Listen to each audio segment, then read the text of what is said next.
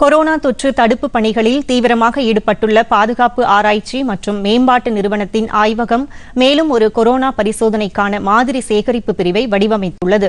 மத்திய தொழிலாளர் ஈட்டுறுதி கழக மருத்துவர்களின் ஆலோசனையின் அடிப்படையில் டிஆர்டிஓ ஆய்வகம் இந்த பிரிவை ஏற்படுத்தியிருப்பதாகவும் இதனை கொரோனா தொற்று பரிசோதனைக்காக செல்லும் சுகாதார பணியாளர்கள் பயன்படுத்தலாம் என்றும் தெரிவிக்கப்பட்டுள்ளது. தொற்று இருப்பதாக சந்தேகிக்கப்படும் நோயாளிகளிடமிருந்து மாதிரிகளை சேகரிக்க டிஆர்டிஓ வடிவமைத்துள்ள இந்த பிரிவு உதவும் என்று தெரிவிக்கப்பட்டுள்ளது. தொற்று பரவலை தடுக்கும் நடவடிக்கையாக டிஆர்டிஓ இந்த முயற்சியை மேற்கொண்டுள்ளது. கையுறையுடன் சுகாதார பணியாளர்கள் மாதிரி சேகரிப்பில் ஈடுபடும் போது தொற்று பரவலை தன்னிச்சையாக இந்த பிரிவு தடுக்க ஏதுவாகும் என டிஆர்டிஓ தெரிவித்துள்ளது.